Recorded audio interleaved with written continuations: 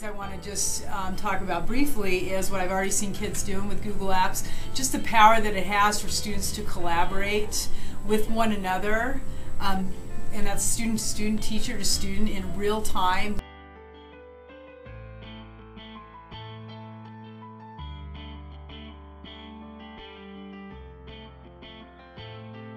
Things that I find most valuable in using Google Apps for um, education is that I can go into a student's document in real time and I can reteach if a student doesn't understand. I can redirect if a student is not doing what they're supposed to. Or I can even prompt a student to go more in depth into the project that they're doing and um, encourage them to go a little deeper into their thinking and their understanding of what they're doing.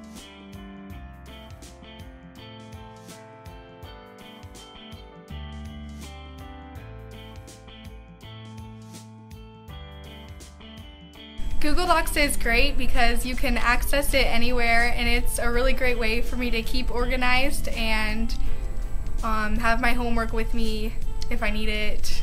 I also am not losing it because it's online.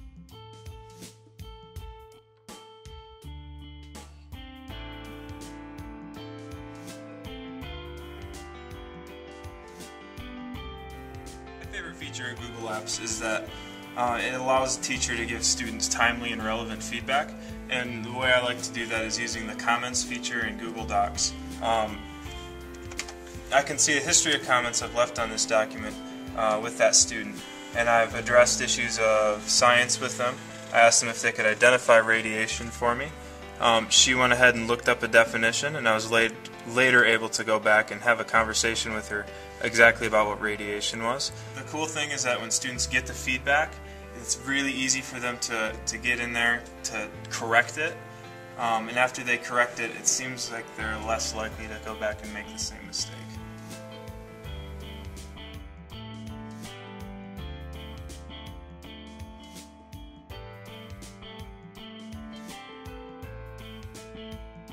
Being able to help our peers in what we're doing as a team, it makes it a lot easier to know what's what they're thinking and like how they can help us and how we can help them together.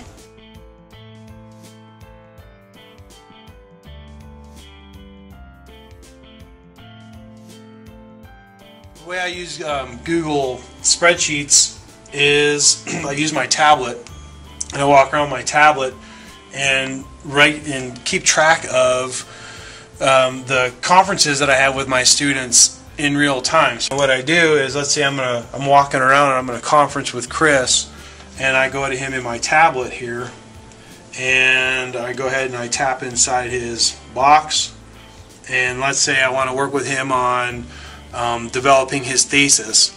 I use my voice, so I use speech to text, and I say, continue working on your thesis statement. So I have it in my document on my tablet, the kid has it on their screen in real time.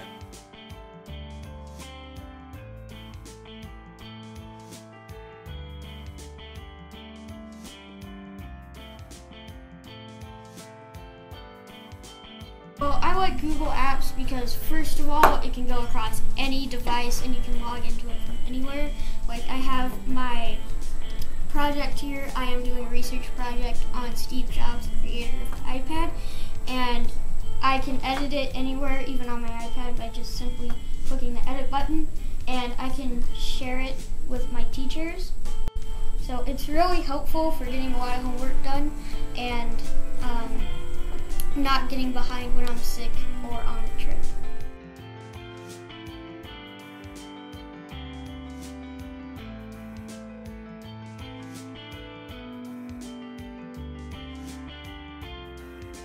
I mean, we need to be at a place eventually with benchmark assessments where teachers are comparing student work, looking at student work and practicing evaluating together, uh, work together. That can be done using Google Apps, where teachers don't have to be sitting in a classroom to, together anymore to be making sure that they're they're um, using the rubric appropriately and evaluating work consistently. A teacher can do that for at East Middle School with a teacher in another building or even within our buildings, different grade levels.